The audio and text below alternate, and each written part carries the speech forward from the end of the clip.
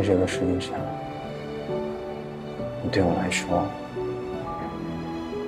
是独一无二的存在。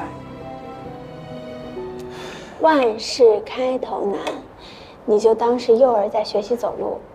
我告诉你一个秘密吧，我两岁的时候才学会。什么两岁的时候才学会？啊，这么晚呢？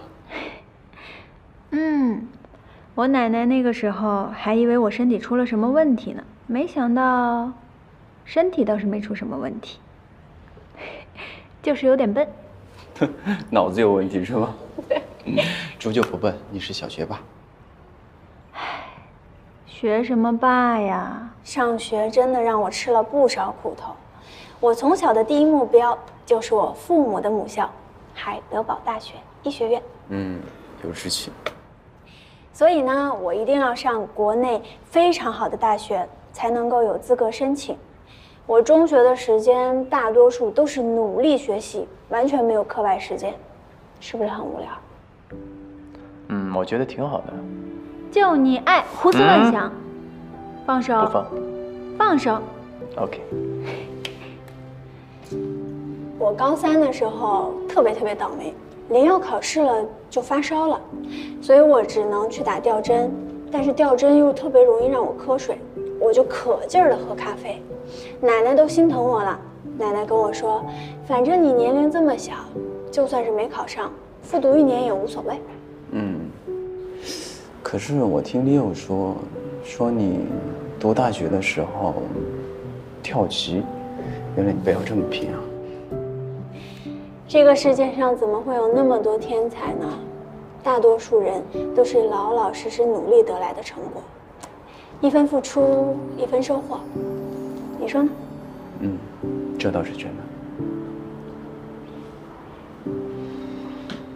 袁生，嗯，对不起，你这么辛苦，我一点忙也没帮上。我一点都不辛苦啊。撒谎。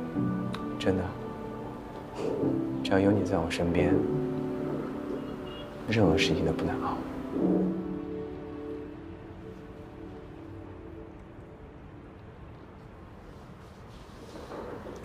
傅先生，这么会说情话，女朋友没少谈吧？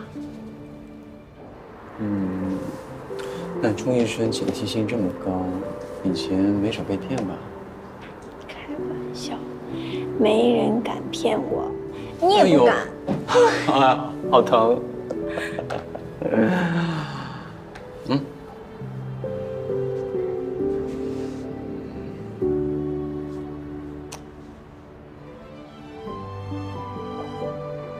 不是不敢，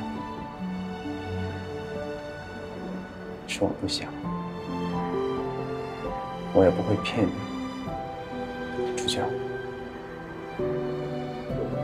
在这个世界上，你对我来说